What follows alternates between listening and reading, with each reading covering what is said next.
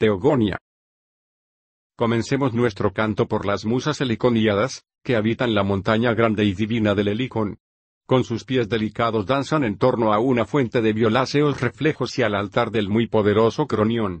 Después de lavar su piel suave en las aguas del Permeso, en la fuente del caballo o en el divino Olmeo, forman bellos y deliciosos coros en la cumbre del Helicón y se cimbrean vivamente sobre sus pies. Partiendo de allí, envueltas en densa niebla marchan al abrigo de la noche, lanzando al viento su maravillosa voz, con himnos a Zeus portador de la égida, a la augusta era argiva calzada con doradas sandalias, a la hija de Zeus portador de la égida, Atenea de ojos glaucos, a Febo Apolo y a la saeteadora Artemis, a Posidón que abarca y sacude la tierra, a la venerable Temis, a Afrodita de ojos vivos, a Ede de áurea corona, a la bella Dione, a Eos, al alto Helios y a la brillante Selene, a Leto, a Jápeto, a Cronos de retorcidamente, a Gea, al espacioso océano, a la negra noche y a la restante estirpe sagrada de sempiternos inmortales. Ellas precisamente enseñaron una vez a Hesíodo un bello canto mientras apacentaba sus ovejas al pie del divino Helicón. Este mensaje a mí en primer lugar me dirigieron las diosas, las musas olímpicas, hijas de Zeus portador de la égida, pastores del campo, triste oprobio, vientres tan solo. Sabemos decir muchas mentiras con apariencia de verdades, y sabemos, cuando queremos, proclamar la verdad. Así dijeron las hijas bien habladas del poderoso Zeus. Y me dieron un cetro después de cortar una admirable rama de florido laurel. Infundieronme voz divina para celebrar el futuro y el pasado y me encargaron alabar con himnos la estirpe de los felices sempiternos y cantarles siempre a ellas mismas al principio y al final. Mas, ¿a qué me detengo con esto en torno a la encina o la roca? Ea, tú, comencemos por las musas que a Zeus Padre con himnos alegran su inmenso corazón dentro del Olimpo, narrando al unísono el presente, el pasado y el futuro. Infatigable brota de sus bocas la grata voz. Se torna resplandeciente la mansión del muy resonante Zeus Padre al propagarse el delicado canto de las diosas y retumba la nevada cumbre del Olimpo y los palacios de los inmortales. Ellas, lanzando al viento su voz inmortal, alaban con su canto primero, desde el origen, la augusta estirpe de los dioses a los que engendró Gea y el vasto Urano y los que de aquellos nacieron, los dioses dadores de bienes. Luego, a Zeus Padre de dioses y hombres, al comienzo y al final de su canto, celebran las diosas, como sobresale con mucho entre los dioses y es el de más poder. Y cuando cantan la raza de los hombres y los violentos gigantes, regocijan el corazón de Zeus dentro del Olimpo las musas olímpicas, hijas de Zeus portador de la égida. Las alumbró en Pieria, amancebada con el padre Crónida, Nemósine, señora de las colinas de Eleuter, como olvido de males y remedio de preocupaciones. Nueve noches se unió con ella el prudente Zeus subiendo a su lecho sagrado, lejos de los inmortales. Y cuando ya era el momento y dieron la vuelta las estaciones, con el paso de los meses, y se cumplieron muchos días, nueve jóvenes de iguales pensamientos, interesadas solo por el canto y con un corazón exento de dolores en su pecho, dio a luz aquella, cerca de la más alta cumbre del nevado Olimpo. Allí forman alegres coros y habitan suntuosos palacios. Junto a ellas viven, entre fiestas, las gracias e y una deliciosa voz lanzando por su boca, cantan y celebran las normas y sabias costumbres de todos los inmortales, lanzando al viento su encantadora voz. Aquellas iban entonces hacia el Olimpo, engalanadas con su bello canto, inmortal melodía. Retumbaba en torno la oscura tierra al son de sus cantos, y un delicioso ruido subía de debajo de sus pies al tiempo que marchaban al palacio de su padre. Reina aquel sobre el cielo y es dueño del trueno y del llameante rayo desde que venció con su poder al padre Cronos. Perfectamente repartió por igual todas las cosas entre los inmortales y fijó sus prerrogativas. Esto cantaban las musas que habitan las mansiones olímpicas, las nueve hijas nacidas del poderoso Zeus, Clio, Euterpe, Talía, Melpomene, Terpsícore, Erato, Polimnia, Urania y Calíope. Esta es la más importante de todas, pues ella asiste a los venerables reyes al que honran las hijas del poderoso Zeus, y le miran al nacer, de los reyes vástagos de Zeus, a éste le derraman sobre su lengua una dulce gota de miel y de su boca fluyen melífuas palabras. Todos fijan en él su mirada cuando interpreta las leyes divinas con rectas sentencias y él con firmes palabras en un momento resuelve sabiamente un pleito por grande que sea. Pues aquí radica el que los reyes sean sabios, en que hacen cumplir en el ágora los actos de reparación a favor de la gente agraviada fácilmente, con persuasivas y complacientes palabras. Y cuando se dirige al tribunal, como a un Dios le propician con dulce respeto y él brilla en medio del vulgo. Tan sagrado es el don de las musas para los hombres. De las musas y del flechador Apolo descienden los aedos y citaristas que hay sobre la tierra, y de Zeus, los reyes. Dichoso aquel de quien se prendan las musas. Dulce le brota la voz de la boca. Pues si alguien, víctima de una desgracia, con el alma recién desgarrada se consume afligido en su corazón, luego que un aedo servidor de las musas cante las gestas de los antiguos y ensalce a los felices dioses que habitan el Olimpo, al punto se olvida aquel de sus penas y ya no se acuerda de ninguna desgracia. Rápidamente cambian el ánimo los regalos de las diosas. Salud, hijas de Zeus, Otorgadme el hechizo de vuestro canto. Celebrad la estirpe sagrada de los sempiternos inmortales, los que nacieron de Gea y del estrellado Urano, los que nacieron de la tenebrosa noche y los que crió el salobre Ponto. Decid también cómo nacieron al comienzo los dioses, la tierra, los ríos, el ilimitado Ponto de agitadas olas y, allí arriba, los relucientes astros y el anchuroso cielo. Y los descendientes de aquellos, los dioses dadores de bienes, cómo se repartieron la riqueza, cómo se dividieron los honores y cómo además, por primera vez, habitaron el muy abrupto Olimpo. Inspiradme esto, musas que desde un principio habitáis las mansiones olímpicas, y decidme lo que de ello fue primero. En primer lugar existió el caos. Después la de amplio pecho, sede siempre segura de todos los inmortales que habitan la nevada cumbre del Olimpo. En el fondo de la tierra de anchos caminos existió el tenebroso Tártaro. Por último, Eros, el más hermoso entre los dioses inmortales, que afloja los miembros y cautiva de todos los dioses y todos los hombres el corazón y la sensata voluntad en sus pechos. Del caos surgieron Erebo y la negra noche. De la noche a su vez nacieron el éter y el día, a los que alumbró preñada en contacto amoroso con Erebo. Gea alumbró primero al estrellado Urano con sus mismas proporciones, para que la contuviera por todas partes y poder ser así sede siempre segura para los felices dioses. También dio a luz a las grandes montañas, deliciosa morada de diosas, las ninfas que habitan en los boscosos montes. Ella igualmente parió al estéril piélago de agitadas olas, el Ponto, sin mediar el grato comercio. Luego, acostada con Urano, alumbró a océano de profundas corrientes, a Seo, a Crio, a Hiperión, a Jápeto, a Tea, a Rea, a Temis, a Nemósine, a Febe de áurea corona y a la amable Tetis. Después de ellos nació el más joven, Cronos, de mente retorcida, el más terrible de los hijos y se llenó de un intenso odio hacia su padre. Dio a luz además a los cíclopes de soberbio espíritu, a Brontes, a Estéropes y al violento Arges, que regalaron a Zeus el trueno y le fabricaron el rayo. Estos en lo demás eran semejantes a los dioses, pero en medio de su frente había un solo ojo, Cíclopes era su nombre por eponimia, ya que, efectivamente, un solo ojo completamente redondo se hallaba en su frente. El vigor, la fuerza y los recursos presidían sus actos. También de Gea y Urano nacieron otros tres hijos enormes y violentos cuyo nombre no debe pronunciarse, Coto, Briareo y Giges, monstruosos engendros. Cien brazos informes salían agitadamente de sus hombros y a cada uno le nacían cincuenta cabezas de los hombros, sobre robustos miembros. Una fuerza terriblemente poderosa se albergaba en su enorme cuerpo. Pues bien, cuantos nacieron de Gea y Urano, los hijos más terribles, estaban irritados con su padre desde siempre. Y cada vez que alguno de ellos estaba a punto de nacer, Urano los retenía a todos ocultos en el seno de Gea sin dejarles salir a la luz y se gozaba cínicamente con su malvada acción. La monstruosa Gea, a punto de reventar, se quejaba en su interior y urdió una cruel artimaña produciendo al punto un tipo de brillante acero, forjó una enorme hoz y luego explicó el plan a sus hijos. Armada de valor dijo afligida en su corazón, hijos míos y de soberbio padre. Si queréis seguir mis instrucciones, podremos vengar el cruel ultraje de vuestro padre, pues él fue el primero en maquinar odiosas acciones. Así habló y lógicamente un temor los dominó a todos y ninguno de ellos se atrevió a hablar. Mas el poderoso Cronos, de mente retorcida, armado de valor, al punto respondió con estas palabras a su prudente madre, Madre, yo podría, lo prometo, realizar dicha empresa, ya que no siento piedad por nuestro abominable padre, pues él fue el primero en maquinar odiosas acciones. Así habló. La monstruosa Gea se alegró mucho en su corazón y le apostó secretamente en emboscada.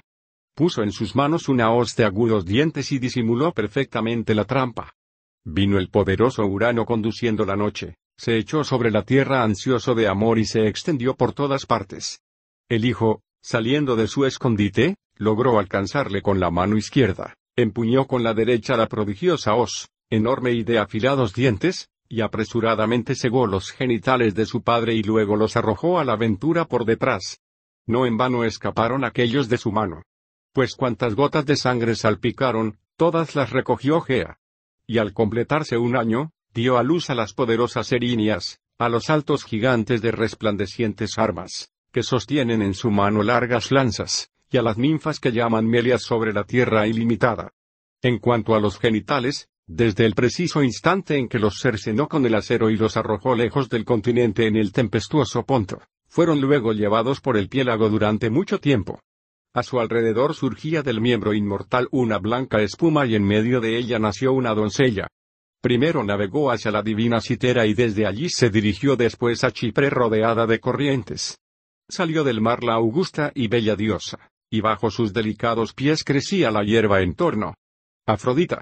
La llaman los dioses y hombres, porque nació en medio de la espuma, y también Citerea, porque se dirigió a Citera. Ciprogénea, porque nació en Chipre de muchas olas, y Filomedea, porque surgió de los genitales.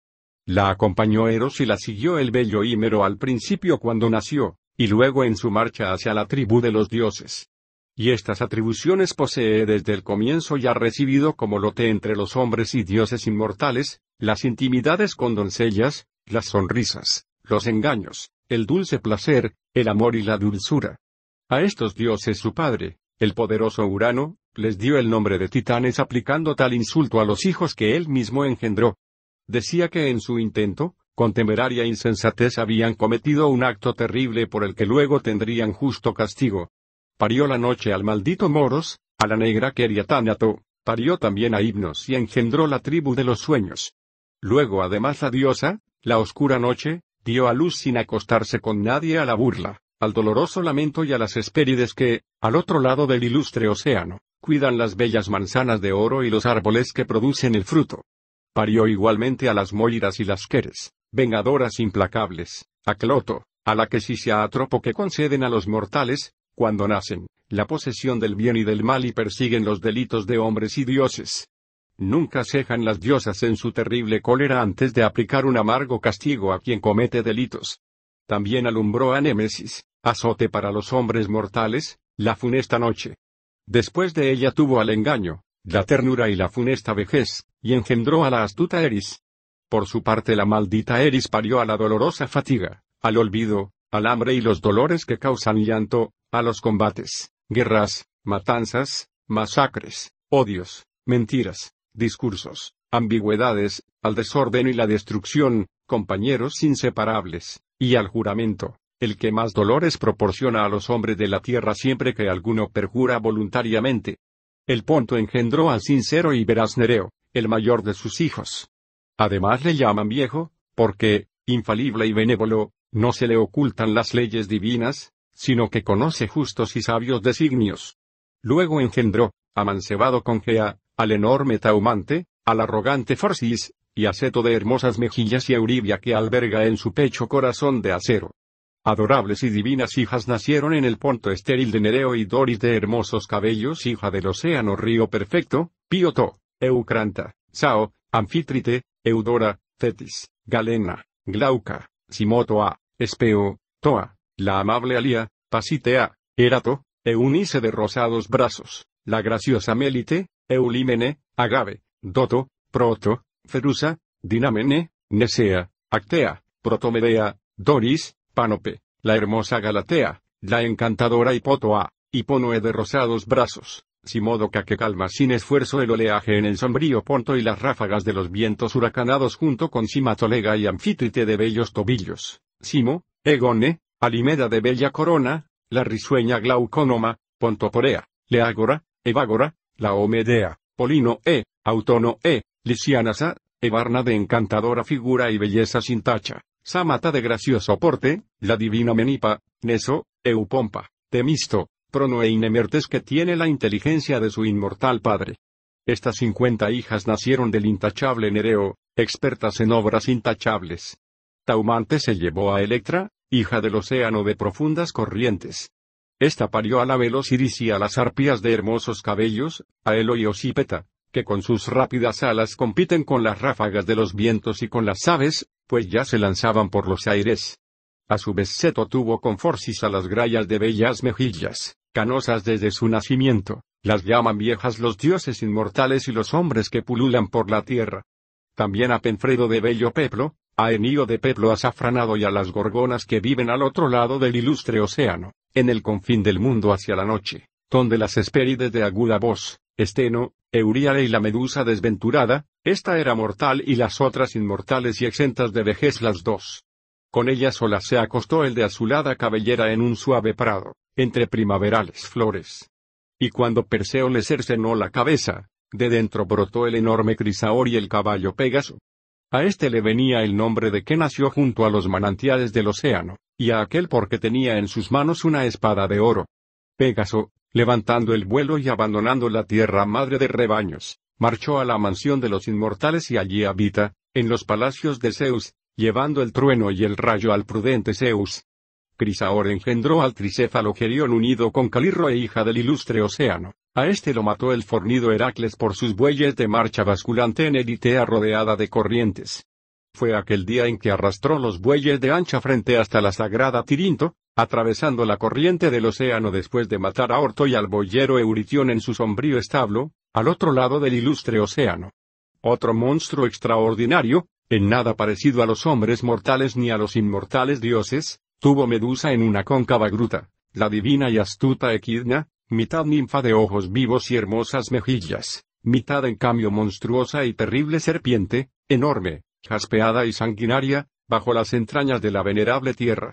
Allí habita una caverna en las profundidades, bajo una horonda roca, lejos de los inmortales dioses y de los humanos mortales, allí entonces le dieron como parte los dioses habitar ilustres mansiones y fue retenida en el país de los ánimos, bajo la tierra, la funesta Equidna ninfa inmortal y exenta de vejez, por todos los siglos. Con ella cuentan que el terrible, violento y malvado Tifón tuvo contacto amoroso, con la joven de vivos ojos. Y preñada, dio a luz feroces hijos, primero parió al perro Orto para Gerión. En segundo lugar tuvo un prodigioso hijo, indecible, el sanguinario Cerbero, perro de broncíneo ladrido de Hades, de cincuenta cabezas despiadado y feroz. En tercer lugar engendró a la perversa Hidra de Lerna, a la que alimentó Hera, diosa de blancos brazos, irritada terriblemente con el fornido Heracles. La aniquiló el hijo de Zeus con su implacable bronce, el anfitriónida Heracles, con ayuda del belicoso Iolao, según los planes de Atenea amiga de Botín. La hidra parió a la terrible, enorme, ágil y violenta quimera, que exhala indómito fuego. Tres eran sus cabezas, una de león de encendidos ojos, otra de cabra y la tercera de serpiente, de violento dragón. León por delante, dragón por detrás y cabra en medio, resoplaba una terrible y ardiente llama de fuego. Pégaso la mató y el valiente Belerofonte. Esta, amancebada con orto, parió a la funesta esfinge, ruina para los cadmeos, y al león de Nemea, al que era, célebre esposa de Zeus, crió y puso en los montes de Nemea, calamidad para los hombres. Allí devastaba las tribus de hombres que habitaban el lugar y era dueño de Treto, Nemea y Apesante. Pero lo mató el vigor del fornido Heracles. Seto, en contacto amoroso con Forcis, alumbró por último un terrible reptil que en sombrías grutas de la tierra, allá en los extremos confines, guarda manzanas completamente de oro. Esta es la estirpe de Seto y Forcis. Tetis con el océano parió a los voraginosos ríos, el Nilo, el Alfeo, el erídano de profundos remolinos, el estrimón, el meandro, el istro de bellas corrientes, el fasis, el rezo, el aqueló de plateados remolinos, el neso, el rodio, el aliagmón, el heptáporo, el gránico, el esepo y el divino simunte, el peneo, el ermo, el seco de bella corriente, el largo sangario, el ladón, el partenio, el ebeno, el ardesco y el divino escamandro.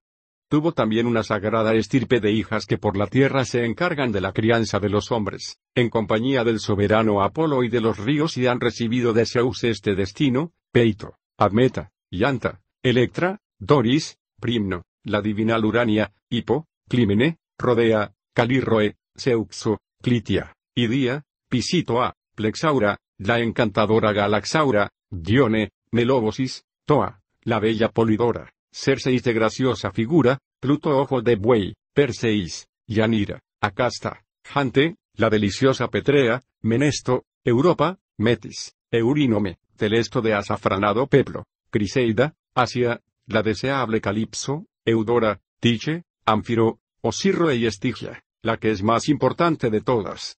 Estas son las hijas más antiguas que nacieron del océano y Tetis.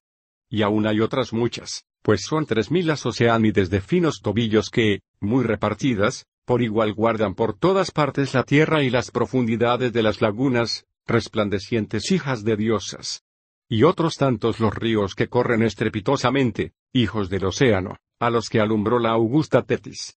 Arduo intento decir un mortal el nombre de todos ellos. Mas conocen cada uno en particular a aquellos que habitan sus riberas. Te dio a luz al alto Helios, la brillante Selene, y Eos que alumbra a todos los seres de la tierra y los inmortales dioses que habitan el vasto cielo, entregada al amor de Hiperión. Euribia, divina entre diosas, parió en contacto amoroso con Crio, al poderoso Astreo, a Palante y a Perses que se distinguió entre todos por su sabiduría. Con Astreo, Eos parió a los impetuosos vientos, el despejador Céfiro, el Bóreas de rápida marcha y el Noto, acostada amorosamente la diosa con el dios. Después de ellos, la hija de la mañana dio a luz al lucero Eósforo, las brillantes estrellas y todo cuanto corona el cielo. Estigia, hija del océano, parió en su palacio unida con Palante, a Celo y Nike de bellos tobillos, y dio vida también a Kratos y Vía, hijos muy señalados. No está su morada lejos de Zeus ni existe lugar alguno ni camino donde no gobierne el dios mediante aquellos, sino que siempre se sientan al lado de Zeus gravisonante. Así lo planeó Estigia, inmortal Oceánide, aquel día, cuando el fulminador olímpico convocó a todos los inmortales dioses en el elevado Olimpo y dijo que a ninguno de los dioses que lucharan a su lado contra los titanes le mermaría honores, sino que cada cual conservaría al menos el rango de antes entre los dioses inmortales. Y aseguró que si alguien había sido deshonrado y privado de dignidad por Cronos, accedería al rango y dignidades que es legítimo. Marchó entonces la primera la inmortal Estigia al Olimpo en compañía de sus hijos, por solicitud hacia su padre. Y Zeus la honró y le otorgó excelentes premios, pues determinó que ella fuera juramento solemne de los dioses y que sus hijos convivieran con él por todos los siglos. Así como lo prometió ante todos, así lo cumplió siempre. Y él goza de gran poder y soberanía. A su vez Febe visitó el lecho muy deseable de Zeus.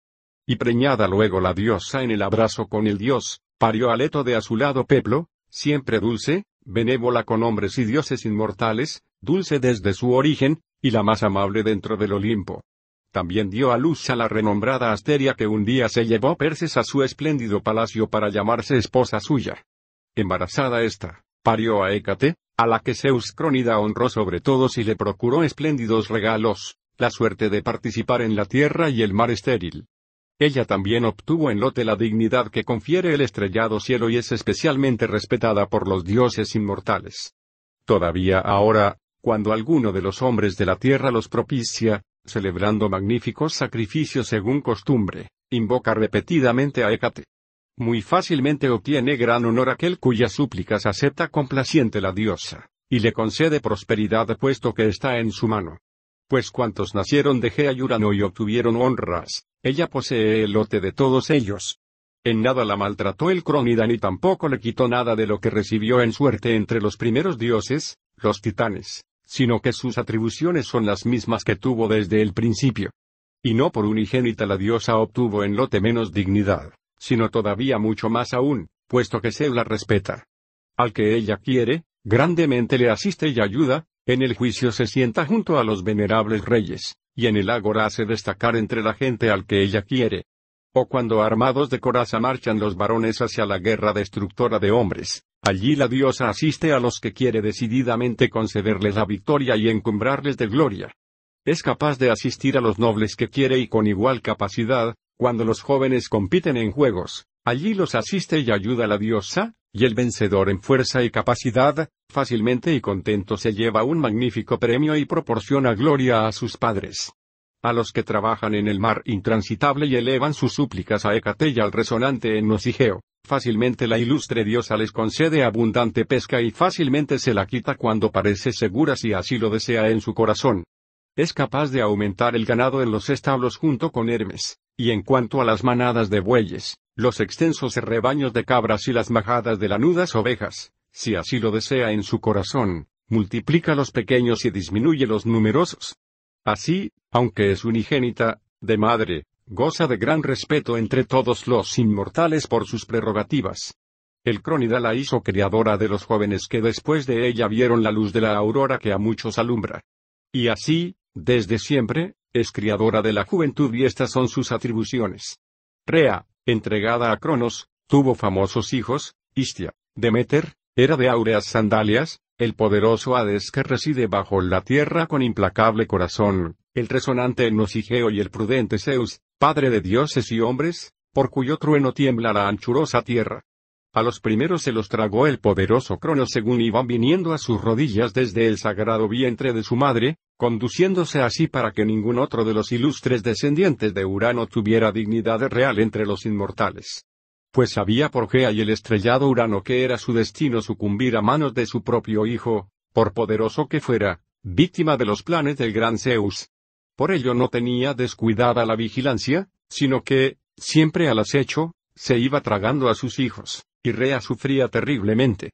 Pero cuando ya estaba a punto de dar a luz a Zeus, padre de dioses y hombres, entonces suplicó enseguida a sus padres, los de ella, Gea y el estrellado Urano, que le ayudaran a urdir un plan para tener ocultamente el parto de su hijo y vengar las erinias de su padre y de los hijos que se tragó el poderoso Cronos de mente retorcida. Aquellos escucharon atentamente a su hija y la obedecieron, la pusieron ambos al corriente de cuanto estaba decretado que ocurriera respecto al rey Cronos y a su intrépido hijo, y la enviaron a Licto, a un rico pueblo de Creta, cuando ya estaba a punto de parir al más joven de sus hijos, el poderoso Zeus. A éste le recogió la monstruosa Gea para criarlo y cuidarlo en la espaciosa Creta. Allí se dirigió, llevándole, al amparo de la rápida negra noche, en primer lugar, a Licto. Le cogió en sus brazos y le ocultó en una profunda gruta, bajo las entrañas de la divina tierra, en el monte Egeo de densa arboleda. Y envolviendo en pañales una enorme piedra, la puso en manos del gran soberano Uránida, rey de los primeros dioses. Aquel la agarró entonces con sus manos y la introdujo en su estómago, desgraciado. No advirtió en su corazón que, a cambio de la piedra, se le quedaba para el futuro su invencible e imperturbable hijo, que pronto, venciéndole con su fuerza y sus propias manos, iba a privarle de su dignidad y a reinar entre los inmortales. Rápidamente crecieron luego el vigor y los hermosos miembros del soberano. Y al cabo de un año echó fuera de nuevo su prole el poderoso Cronos de mente retorcida, engañado por las hábiles indicaciones de Gea, vencido por la habilidad y fuerza de su hijo. Primero vomitó la piedra, última cosa que se tragó, y se la clavó sobre la anchurosa tierra, en la sacratísima Pito, en los valles del pie del Parnaso, monumento para la posteridad, maravilla para los hombres mortales. Libró a sus tíos paternos de sus dolorosas cadenas, a los uránidas Brontes, Esteropes y el vigoroso Arges, a los que insensatamente encadenó su padre, aquellos le guardaron gratitud por sus beneficios y le regalaron el trueno, el llameante rayo y el relámpago, antes los tenía ocultos la enorme Gea, y con ellos seguro gobierna a mortales e inmortales. Japeto se llevó a la joven Clímene, Oceánide de bellos tobillos y subió a su mismo lecho. Esta le dio un hijo, el intrépido Atlas, y parió al muy ilustre Menetio, al mañoso y astuto Prometeo y al torpe Epimeteo, que fue desde un principio siempre ruina para los hombres que se alimentan de pan. Pues él por primera vez aceptó una joven mujer modelada por Zeus. Al violento Menetio, Zeus de amplia mirada le hundió en el erebo, alcanzándole con el ardiente rayo, por su insolencia y desmedida audacia. Atlas sostiene al vasto cielo a causa de una imperiosa fatalidad allá en los confines de la tierra, a la entrada del país de las Hespérides de fina voz, apoyándolo en su cabeza e infatigables brazos, pues esta suerte le asignó como lote el prudente Zeus. A Prometeo abundante en recursos le ató con irrompibles ligaduras, dolorosas cadenas, que metió a través de una columna y lanzó sobre él su águila de amplias alas. Esta le comía el hígado inmortal y aquel durante la noche crecía por todas partes en la misma proporción que durante el día devoraba el ave de amplias alas.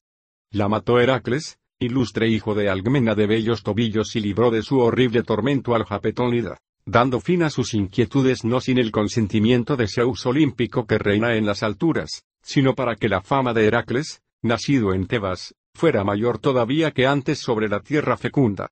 Por estos anhelos favorecía a su muy ilustre hijo y, aunque irritado, calmó la cólera que antes tenía desde que Prometeo combatió la voluntad del muy poderoso Cronión.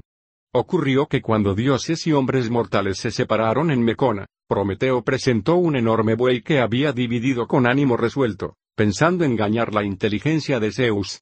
Puso, de un lado, en la piel, la carne y ricas vísceras con la grasa, ocultándolas en el vientre del buey. De otro, recogiendo los blancos huesos del buey con falaz astucia, los disimuló cubriéndolos de brillante grasa. Entonces se dirigió a él el padre de hombres y dioses, Japetónida, el más ilustre de todos los dioses, amigo mío, cuán parcialmente hiciste el reparto de lotes. Así habló en tono de burla Zeus, conocedor de inmortales designios. Le respondió el astuto Prometeo con una leve sonrisa y no ocultó su falaz astucia, Zeus, el más ilustre y poderoso de los dioses sempiternos. Escoge de ellos el que en tu pecho te dicte el corazón. Habló ciertamente con falsos pensamientos. Y Zeus, sabedor de inmortales designios, conoció y no ignoró el engaño, pero estaba proyectando en su corazón desgracias para los hombres mortales e iba a darles cumplimiento. Cogió con ambas manos la blanca grasa. Se irritó en sus entrañas y la cólera le alcanzó el corazón cuando vio los blancos huesos del buey a causa de la falaz astucia. Desde entonces sobre la tierra las tribus de hombres queman para los inmortales los blancos huesos cuando se hacen sacrificios en los altares. Y a aquel díjole Zeus amontonador de nubes, terriblemente indignado, hijo de Jápeto, conocedor de los designios sobre todas las cosas, amigo mío, ciertamente no estabas olvidándote ya de tu falaz astucia. Así dijo lleno de cólera Zeus, conocedor de inmortales designios. Y desde entonces siempre tuvo luego presente este engaño y no dio la infatigable llama del fuego a los fresnos, los hombres mortales que habitan sobre la tierra. Pero le burló el sagaz hijo de Jápeto escondiendo el brillo que se ve de lejos del infatigable fuego en una hueca cañaeja. Entonces hirió de nuevo el alma de Zeus altitonante y le irritó su corazón cuando vio entre los hombres el brillo que se ve de lejos del fuego. Y al punto, a cambio del fuego, preparó un mal para los hombres, modeló de tierra el ilustre Patisambo una imagen con apariencia de casta doncella, por voluntad del Crónida. La diosa Atenea de ojos glaucos le dio ceñidor y la adornó con vestido de resplandeciente blancura, la cubrió desde la cabeza con un velo, maravilla verlo, bordado con sus propias manos, y con deliciosas coronas de fresca hierba trenzada con flores, rodeó sus sienes palas Atenea. En su cabeza colocó una diadema de oro que él mismo cinceló con sus manos, el ilustre Patisambo, por agradar a su padre Zeus.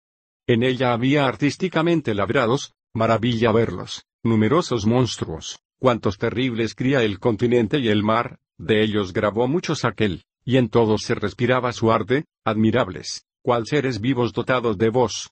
Luego que preparó el bello mal, a cambio de un bien, la llevó donde estaban los demás dioses y los hombres, engalanada con los adornos de la diosa de ojos glaucos, hija de poderoso padre, y un estupor se apoderó de los inmortales dioses y hombres mortales cuando vieron el espinoso engaño, irresistible para los hombres.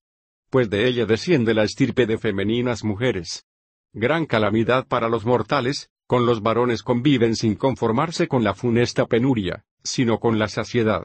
Como cuando en las abovedadas colmenas las abejas alimentan a los zánganos, siempre ocupados en miserables tareas, aquellas durante todo el día hasta la puesta del sol diariamente se afanan y hacen blancos panales de miel, mientras ellos aguardando dentro, en los recubiertos panales, recogen en su vientre el esfuerzo ajeno, así también desgracia para los hombres mortales hizo Zeus altitonante a las mujeres, siempre ocupadas en perniciosas tareas. Otro mal les procuró a cambio de aquel bien, el que huyendo del matrimonio y las terribles acciones de las mujeres no quiere casarse y alcanza la funesta vejez sin nadie que le cuide, éste no vive falto de alimento, pero al morir, los parientes reparten su hacienda. Y a quien, en cambio, le alcanza el destino del matrimonio y consigue tener una mujer sensata y adornada de recato, este, durante toda la vida, el mal equipara constantemente al bien. Y quien encuentra una mujer desvergonzada, vive sin cesar con la angustia en su pecho, en su alma y en su corazón, y su mal es incurable. De esta manera no es posible engañar ni transgredir la voluntad de Zeus, pues ni siquiera el Japetónida, el remediador Prometeo, logró librarse de su terrible cólera, sino que por la fuerza, aunque era muy astuto, le aprisionó una enorme cadena. Abdiareo, Acoto y Agiges, cuando en un principio su padre se irritó con ellos en su corazón, les ató con fuerte cadena receloso de su formidable vigor, así como de su belleza y estatura, y les hizo habitar bajo la espaciosa tierra. Allí aquellos, entre tormentos, viviendo bajo la tierra, permanecieron en lugar remoto, en los confines de la ancha tierra, por largo tiempo, muy angustiados y con su corazón lleno de terrible dolor. Mas el Crónida y los demás dioses inmortales que concibió Rea de hermosos cabellos en abrazo con Cronos, de nuevo los condujeron a la luz según las indicaciones de Gea.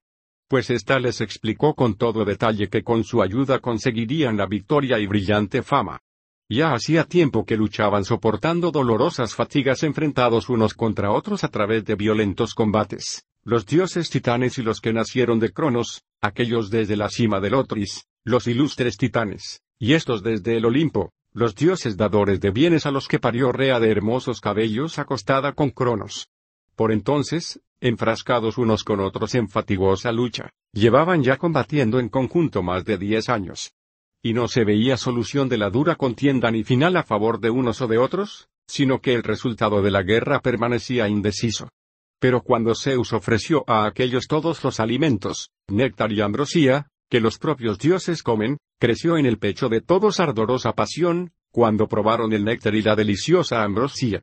Entonces ya les habló el Padre de hombres y dioses, escuchadme, ilustres hijos de Gea y Urano, para que os diga lo que me dicta el corazón en mi pecho. Por largo tiempo ya enfrentados unos con otros, luchamos todos los días por la victoria y el poder los dioses titanes y los que nacimos de Cronos.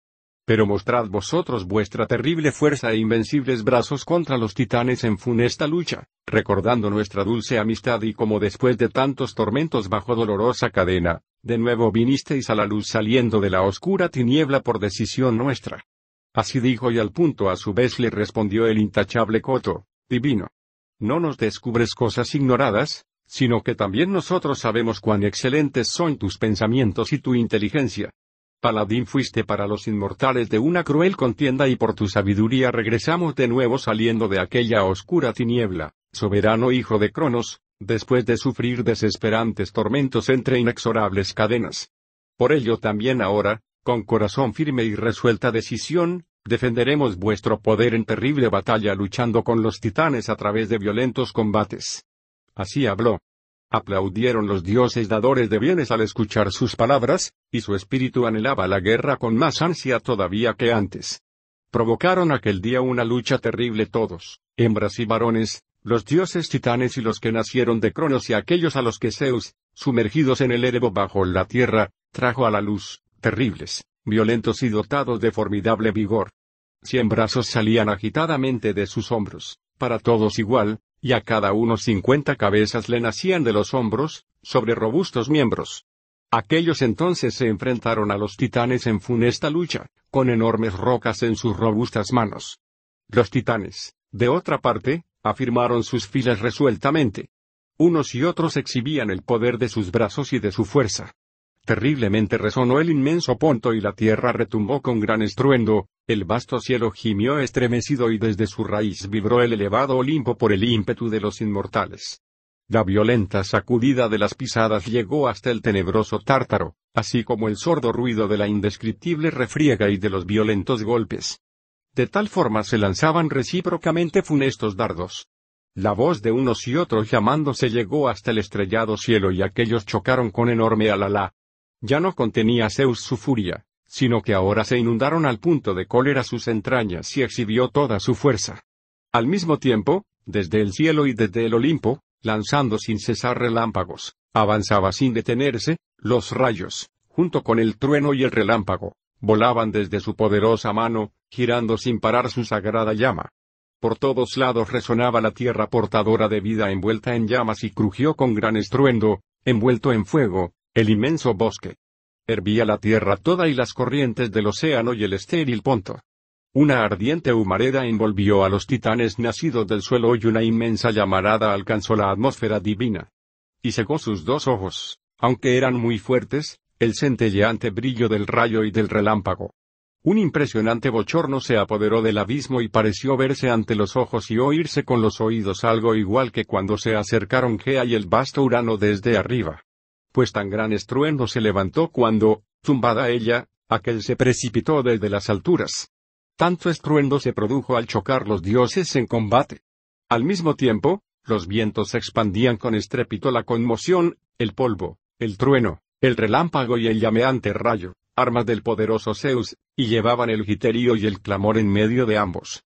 Un estrépito impresionante se levantó, de terrible contienda, y saltaba a la vista la violencia de las acciones.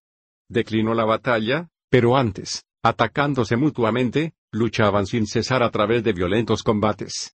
Entonces aquellos, Coto, Briareo y Giges insaciable de lucha, en la vanguardia provocaron un violento combate. Trescientas rocas lanzaban sin respiro con sus poderosas manos y cubrieron por completo con estos proyectiles a los titanes. Los enviaron bajo la anchurosa tierra y los ataron entre inexorables cadenas después de vencerlos con sus brazos. Aunque eran audaces, tan hondos bajo la tierra como lejos está el cielo de la tierra, esa distancia hay desde la tierra hasta el tenebroso tártaro. Pues un yunque de bronce que bajara desde el cielo durante nueve noches con sus días, al décimo llegaría a la tierra, e igualmente un yunque de bronce que bajara desde la tierra durante nueve noches con sus días, al décimo llegaría al tártaro. En torno a él se extiende un muro de bronce y una oscuridad de tres capas envuelve su entrada, Encima además nacen las raíces de la tierra y del mar estéril. Allí los dioses titanes bajo una oscura tiniebla están ocultos por voluntad de Zeus amontonador de nubes en una húmeda región al extremo de la monstruosa tierra. No tienen salida posible, Posidón les puso encima broncíneas puertas y una muralla les rodea de ambos lados. Allí habitan también Giges, Coto y el valiente Briareo, fieles guardianes de Zeus portador de la égida. Allí de la tierra sombría, del tenebroso tártaro, del ponto estéril y del cielo estrellado están alineados los manantiales y términos hórridos y pútridos de todos, y hasta los dioses los maldicen. Enorme abismo, no se alcanzaría su fondo ni en todo un año completo, si antes fuera posible franquear sus puertas, sino que por aquí y por allá te arrastraría huracán ante huracán terrible. Horrendo, incluso para los dioses inmortales, este prodigio, también se encuentran allí las terribles mansiones de la oscura noche cubiertas por negruzcos nubarrones. Delante de ellas, el hijo de Jápeto sostiene el ancho cielo, apoyándolo en su cabeza e infatigables brazos, sólidamente, allí donde la noche y la luz del día se acercan más y se saludan entre ellas pasando alternativamente el gran vestíbulo de bronce. Cuando una va a entrar, ya la otra está yendo hacia la puerta, y nunca el palacio acoge entre sus muros a ambas, sino que siempre una de ellas fuera del palacio da vueltas por la tierra y la otra espera en la morada hasta que llegue el momento de su viaje. Una ofrece a los seres de la tierra su luz penetrante, la otra les lleva en sus brazos el sueño hermano de la muerte, la funesta noche, envuelta en densa niebla. Allí tienen su casa los hijos de la oscura noche, Hipnos y Tánato, terribles dioses, nunca el radiante Helios les alumbra con sus rayos al subir al cielo ni al bajar del cielo. Uno de ellos recorre tranquilamente la tierra y los anchos lomos del mar y es dulce para los hombres. El otro, en cambio, tiene de hierro el corazón y un alma implacable de bronce alberga en su pecho. Retiene al hombre que coge antes, y es odioso incluso para los inmortales dioses. Allí delante se encuentran las resonantes mansiones del dios subterráneo del poderoso Hades y la temible Perséfone, guarda su entrada un terrible perro, despiadado y que se vale de tretas malvadas, a los que entran les saluda alegremente con el rabo y ambas orejas al mismo tiempo, pero ya no les deja salir de nuevo, sino que, al acecho, se come al que coge a punto de franquear las puertas. Allí reside una diosa maldita para los inmortales, la terrible Estigia, hija mayor del océano que refluye en sí mismo. Lejos de los dioses habita un espléndido palacio con techo de enormes rocas, por todas partes se encuentra apoyado sobre plateadas columnas que llegan hasta el cielo. Raramente, la hija de Taumante, Iris rápida de pies, frecuenta este lugar volando por los anchos lomos del mar.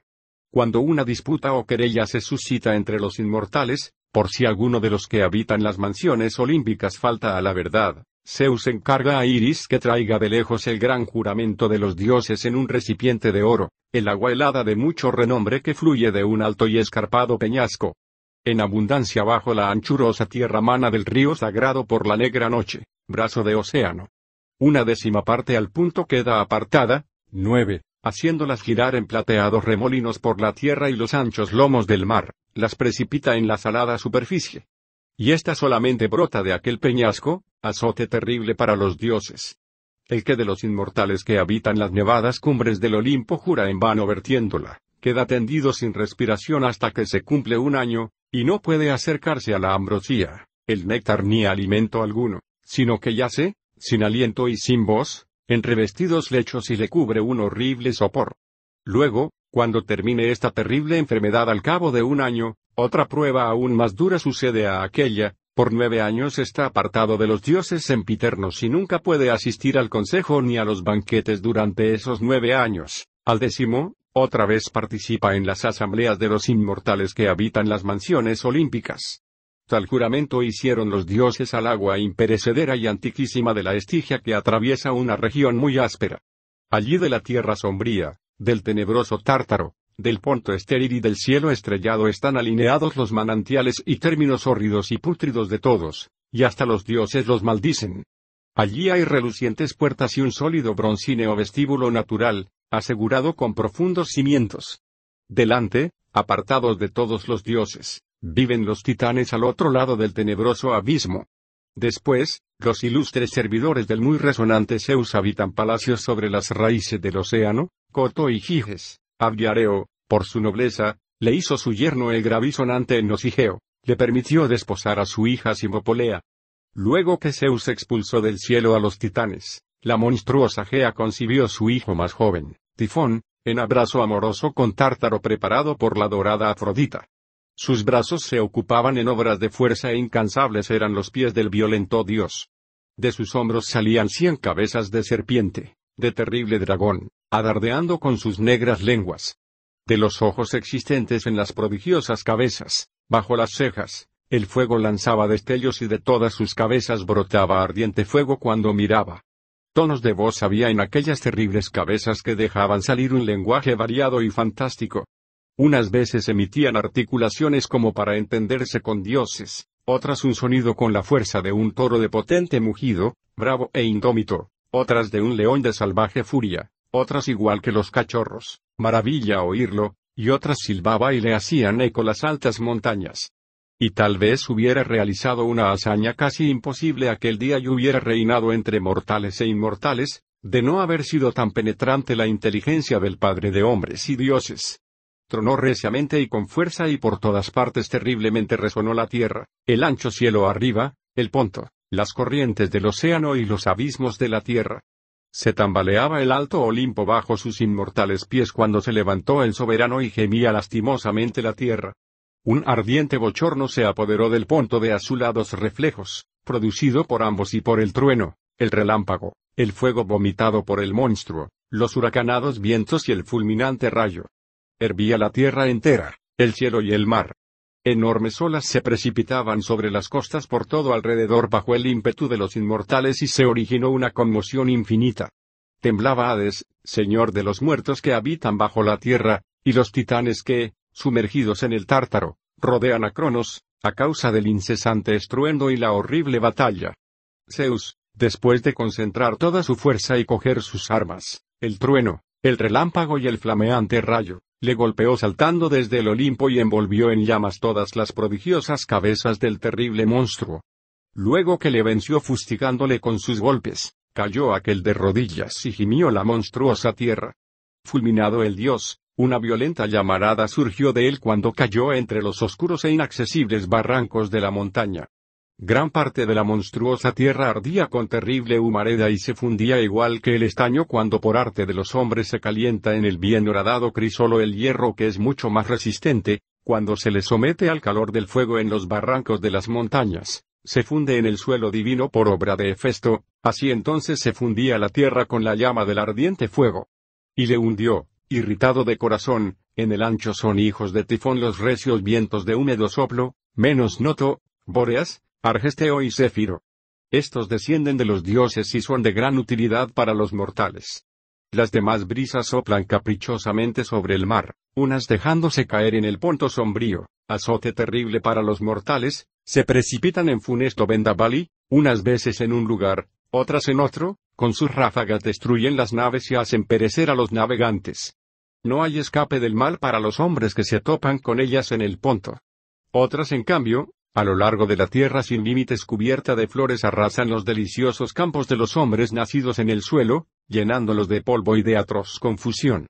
Luego que los dioses bienaventurados terminaron sus fatigas y por la fuerza decidieron con los titanes sus privilegios, ya entonces por indicación de Gea animaron a Zeus olímpico de amplia mirada para que reinara y fuera soberano de los inmortales.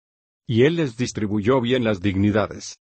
Zeus, rey de dioses, tomó como primera esposa a Metis, la más sabia de los dioses y hombres mortales. Mas cuando ya faltaba poco para que naciera la diosa Atenea de ojos glaucos, engañando astutamente su espíritu con ladinas palabras, Zeus se la tragó por indicación de Gea y del estrellado Urano. Así se lo aconsejaron ambos para que ningún otro de los dioses sempiternos tuviera la dignidad real en lugar de Zeus. Pues estaba decretado que nacieran de ella hijos muy prudentes, primero, la doncella de ojos glaucos Tritogenia que iguala a su padre en coraje y sabia decisión, y luego, era de esperar que naciera un hijo rey de dioses y hombres con arrogante corazón. Pero Zeus se la tragó antes para que la diosa le avisara siempre de lo bueno y lo malo.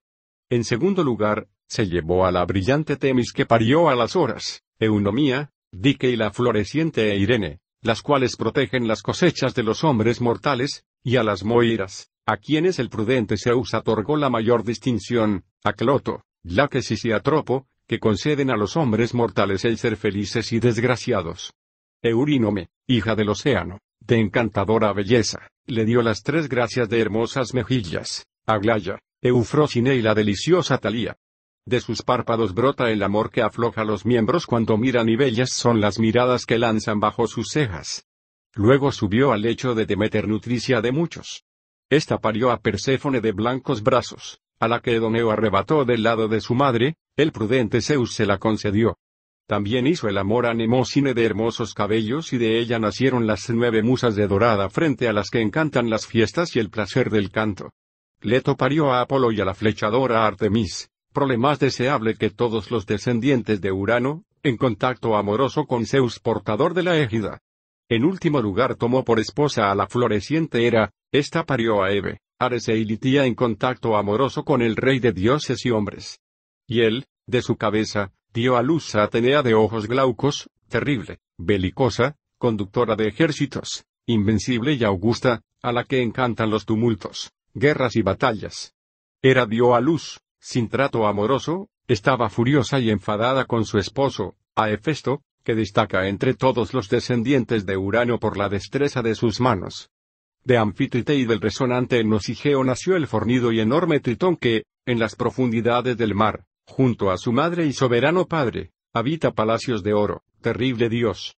A su vez, con Ares, perforador de escudos, Citerea concibió a los temibles miedo y terror, que ponen en confusión las compactas falanges de varones en la guerra sangrienta junto con Ares destructor de ciudades y también a Armonía, a quien el muy esforzado Cadmo hizo su esposa. También con Zeus, la Atlántide Maya parió al ilustre Hermes, heraldo de los inmortales, subiendo al sagrado lecho. Y la Cadmea Semele, igualmente en trato amoroso con él, dio a luz un ilustre hijo, el muy risueño Dioniso, un inmortal siendo ella mortal. Ahora ambos son dioses. Algmena parió al fornido Heracles en contacto amoroso con Zeus amontonador de nubes. A Aglaya, Hefesto, el muy ilustre Patisambo, siendo la más joven de las gracias, la hizo su floreciente esposa. Dioniso, el de dorados cabellos, a la rubia Ariadna hija de Minos la hizo su floreciente esposa, y la convirtió en inmortal y exenta de vejez el cronión. A Eve, hija del poderoso Zeus y de Hera de doradas sandalias, el bravo hijo de Algmena de bellos tobillos, el fornido Heracles, al término de sus penosos trabajos, la hizo su venerable esposa en el nevado Olimpo.